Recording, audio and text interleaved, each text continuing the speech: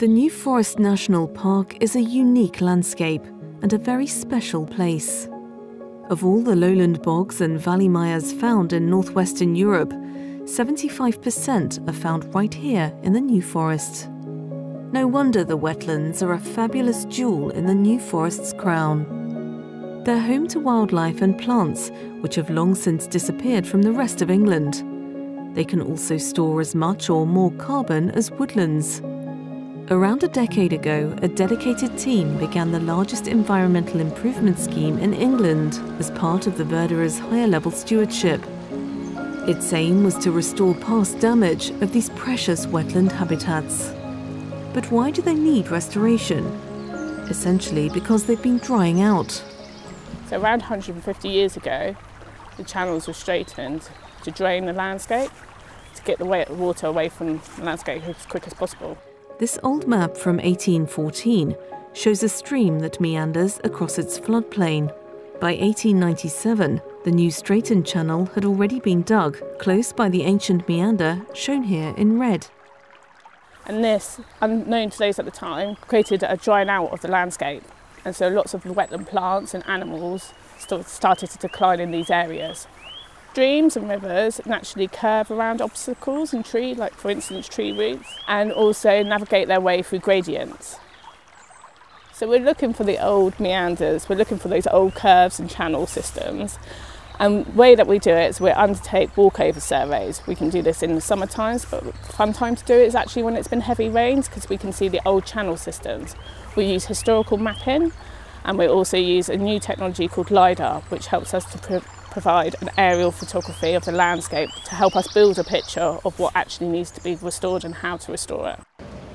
Once identified, the old natural stream channels were carefully unearthed and many decades of infill removed.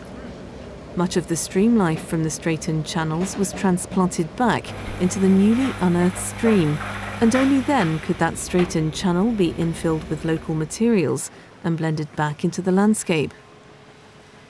These newly restored ancient meanders now allow the watercourse to function naturally, how it was meant to, and heavy rain best demonstrates this action.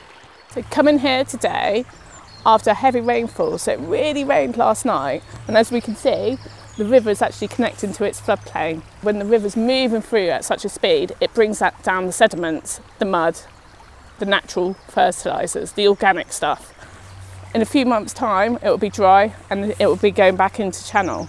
And that going out and in of channel creates a microhabitat, which wildlife and plants really thrive in. But it's not only the wildlife that benefits. So this project's brilliant because it brings a lot of multi-benefits, such as carbon storage, slowing the flow of the water, which helps, you know, water storage on the, onto the landscape, um, also health and well-being and recreational use. The restoration has also benefited some of the forest's most famous inhabitants.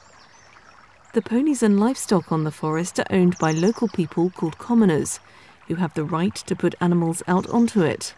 The restoration work is valued by the commoning community. This, the lower areas of grassland in the forest work like a, a water meadow and during the winter the water floods across them and that gives that lovely little flush of grass in the spring to help the ponies and cattle get going for the rest of the year.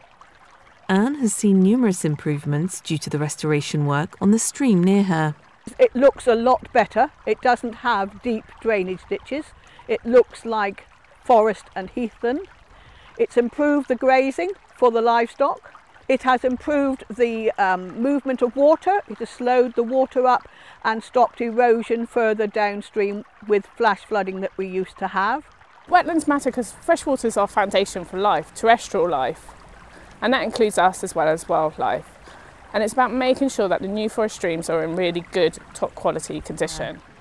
Even though the stream restoration scheme has been going for a decade and 20 miles restored, there's still much to do to protect the new forest streams and mires and the critically important role they play. So this is the only the beginning of the project. So we're actually out there collecting the evidence and monitoring this scheme using citizen science and also professionals to help us understand how our restoration has had an impact on the landscape. What I think the restoration will do will actually help people be aware of the forest and the fact that you do need to look after it properly and it needs to be maintained and if you do any damage that you should in fact when the opportunities come along to repair the damage and the people are beginning to think about what needs to be done in the forest to protect it. Discover more about New Forest wetlands at hlsnewforest.org.uk.